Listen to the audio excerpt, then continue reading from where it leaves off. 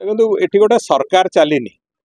ଯେତେବେଳେ ଶାସନର ମୁଖ୍ୟଟା ଅଯୋଗ୍ୟ ହେଇଯାଏ ଯେତେବେଳେ ଶାସନର ମୁଖ୍ୟ ଅର୍କ- ଅକର୍ମଣ୍ୟ ହେଇଯାଏ ଯେତେବେଳେ ଶାସନର ମୁଖ୍ୟ ତାର ଶାସିତ ମାନଙ୍କର ଭାଷା ବୁଝିପାରେନି ତାଙ୍କ ଦୁଃଖ ବୁଝିପାରେନି ସେ ସମୟରେ ଯୋଉଭଳି ଭାବରେ ଅରାଜକତା ବ୍ୟାପେ ରାଜ୍ୟରେ ଆଜି ସେଇଭଳିଆ ସ୍ଥିତି ହେଇଛି।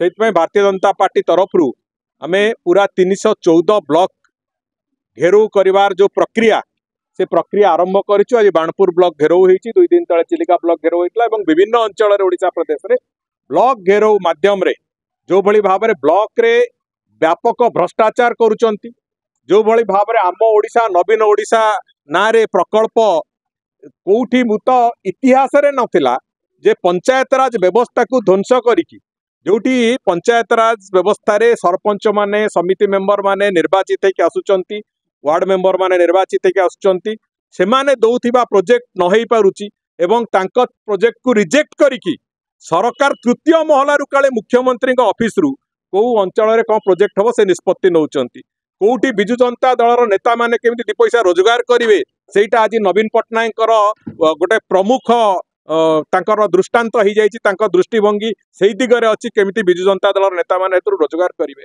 ଏଭଳିଆ ଭ୍ରଷ୍ଟାଚାରୀ ସରକାରକୁ ହଟେଇବା ପାଇଁ ଆଜି ଏଠି ଆନ୍ଦୋଳନ ଆରମ୍ଭ ହେଇଛି।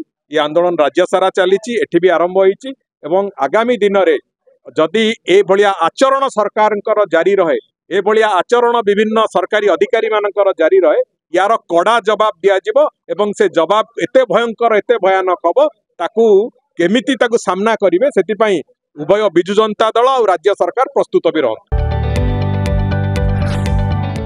जदि आपंक आम भिडी भल लगा तेब आम चैनल को लाइक सेयार और सब्सक्राइब करने को जमा भी भूलु नहीं।